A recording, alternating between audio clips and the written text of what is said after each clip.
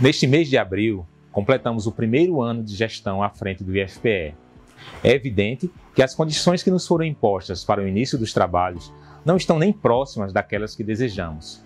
Passamos todo este período sob os efeitos da pandemia da Covid-19, que já tirou a vida de mais de 390 mil brasileiros e brasileiras, incluindo servidores, servidoras e estudantes desta casa, a quem faço questão de externar nossa gratidão e nosso respeito pela história construída no Instituto. A familiares, amigos e amigas, o nosso pesar. Para além das trágicas consequências causadas pela perda dessas vidas, a pandemia nos obrigou a adotar medidas de contenção da transmissão do vírus, no sentido de preservar a saúde e a vida das pessoas. Desse modo, a implantação do trabalho remoto foi a alternativa encontrada para dar continuidade às atividades do IFPE de modo responsável.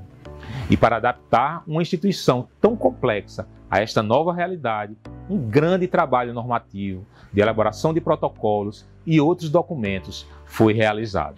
Nos diversos órgãos colegiados do IFPE, como o Colégio de Dirigentes, o Comitê Emergencial, bem como nos comitês locais de crise, fizemos discussões exaustivas no sentido de explorar todas as possibilidades, compreender cada situação e tomar decisões com base nas melhores alternativas à disposição. Com este esforço, buscamos tornar cada um dos campi, a Diretoria de Educação à Distância e a Reitoria do IFPE, locais mais seguros e mais preparados para lidar com as condições que nos foram impostas. Manter o funcionamento de todos os processos gerenciais e de apoio e a oferta do ensino, pesquisa e extensão de qualidade em tempos tão complicados não tem sido uma tarefa fácil mas tenho a clareza de que só foi possível superar tamanha dificuldade com o esforço e o comprometimento exemplar de cada servidor, cada servidora e cada estudante do Instituto Federal de Pernambuco.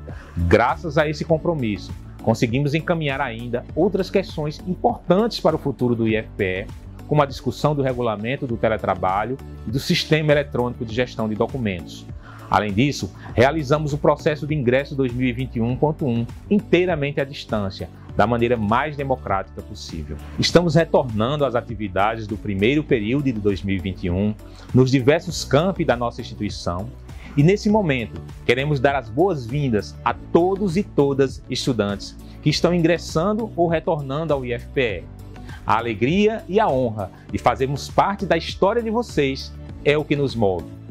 E é pensando nisso que estamos sempre buscando as melhores formas de seguir adiante. Teremos mais três anos de muito trabalho pela frente. Dias melhores certamente virão.